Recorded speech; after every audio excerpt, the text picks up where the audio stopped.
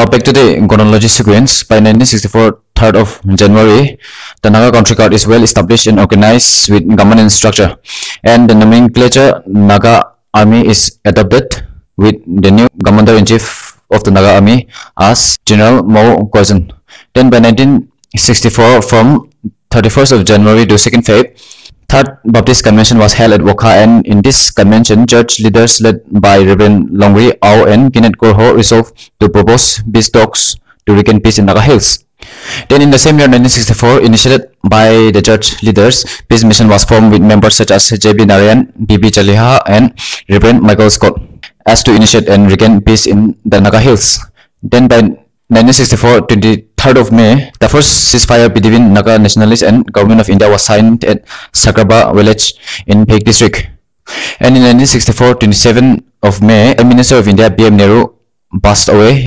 And by 1964, 6th of September, the ceasefire of 23rd May came into effect and Nagas declared this day as Naga Peace Day. Now, by 1964, 23rd of September, ceasefire was already in force, so political negotiations started between the Naga nationalists and government of India. And by 1964, 20 of December, peace mission proposed 16-point proposal for peaceful settlement of the Indo-Naga conflict without the use of force and arms by both the sides, that is India and Nagas.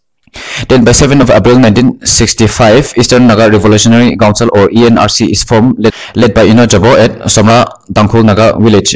And this ENRC was formed to defend and safeguard the Naga people against the Burmese aggressors and SS Khaplang was the vice chairman of this organization.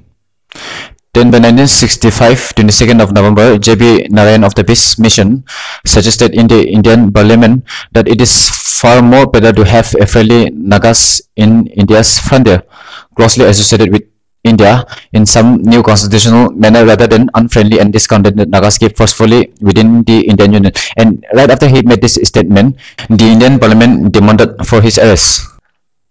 Then by 1966, from 18 to 19 of Feb, the first round of political negotiation was held between the Naga nationalists led by Kughato Sukhai and Prime Minister of India, Mrs. Indira Gandhi. Then in 1964, 4th of May, Reverend Michael Scott of the Peace Mission is arrested in Shillong on the charges of subversion or for supporting the Naga national cause or the Naga national movement. Then in 1966, NNC submitted 14-point proposal in the fourth round of Indo-Naga talks held at Delhi. In 1967, 4th of March, S.C. Jamir, who was also the signatory of the 16-point agreement, he is elected unopposed as the first Lok Sabha member from Nagaland. Then in 1967, 22nd of June, General Kaito, the former commander-in-chief of the Naga Country Guard or Naga Army, he organized his force to break away from federal government of Nagaland on the lines of tribalism.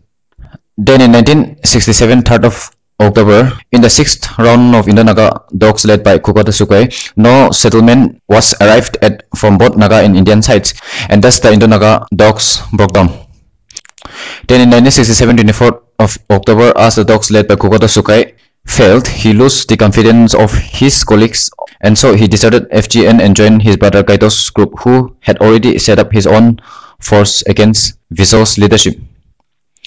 Then by 1967, in the same year, NNC or FGN dispatched another foreign mission or alignment led by General Mao and Brigadier Lovicha to China for procuring arms and military training.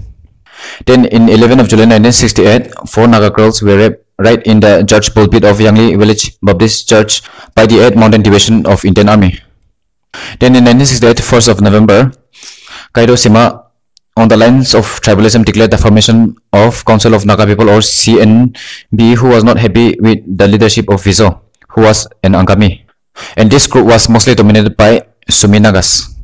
By 1968, 2nd of November, CNP or Council of Naga People declared the formation of Revolutionary Government of Nagaland or RGN with Kughato Sukhai as the president and Scato Swu as prime minister of this new organization. Then in 3rd of November 1968, General Kaito Sukhai is assassinated for establishing or for setting up his own government undermining the Naga's legitimate government that is Naga's federal government. Then by 1972, Nagaland is transferred from Ministry of Foreign Affairs to the Ministry of Home Affairs and government did this to protect Naga national movement as India's internal law and order problem. Then in 1972, 31st of August, Indo-Naga talks had also broke down after six rounds and India not willing to respect Naga people's right, government of India unilaterally abrogated the hard-earned ceasefire and later banned the NNC, FGN and NFA as unlawful organization with effect from 1st of September 1972 under Unlawful Activities Prevention Act of 1967.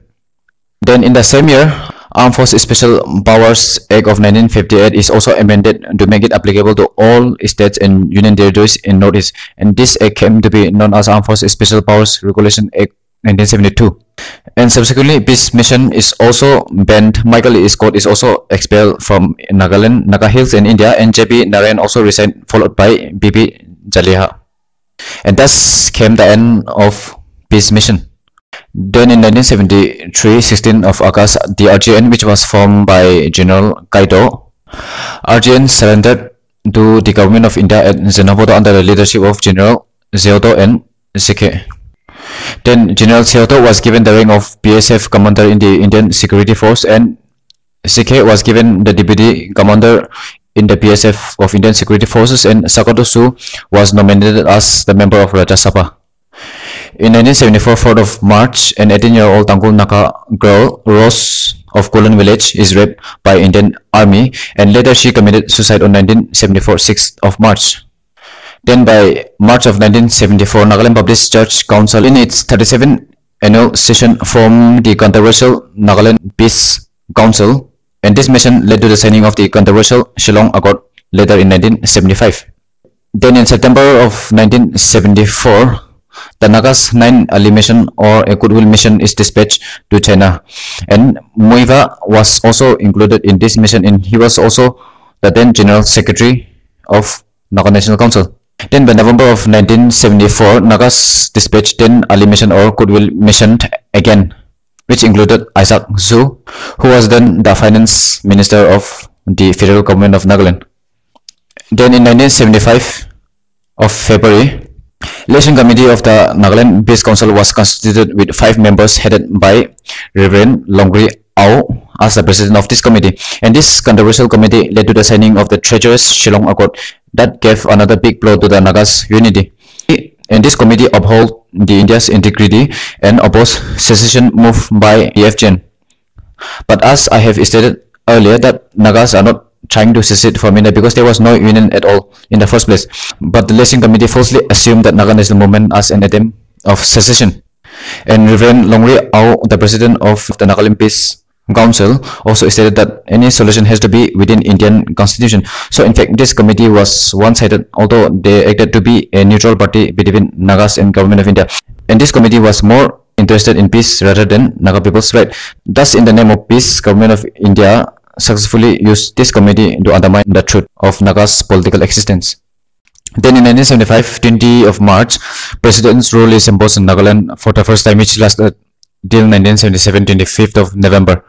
Then in 1975 25th of June, Prime Minister of India Indira Gandhi declares the state of national emergency. Then in the same year 1975 11 of November, led by Sashi, the then president of FGN, the treacherous Shillong Accord is signed between the government of India represented by LP Singh and Naga nationalists represented by six members under Shashi's ministry. But it is important to note that the main leaders like Isak Swu, who was the then finance minister of FGN, and Muivah, who was the then general secretary of NNC, they were all in China and Phizo was in exile in London and Ingong Meren, the vice president of NNC, was in Indian jail. So the signatories representing the Naga nationalists didn't really represent the Nagas. And these were the first list of NNC or FGN representatives sent by FGN Home Minister Bisuto Midem Kyo. And these were the final list of NNC and FGN representatives sent by the president of FGN, Shashi Hori. And they were the ones who signed the Shillong Accord.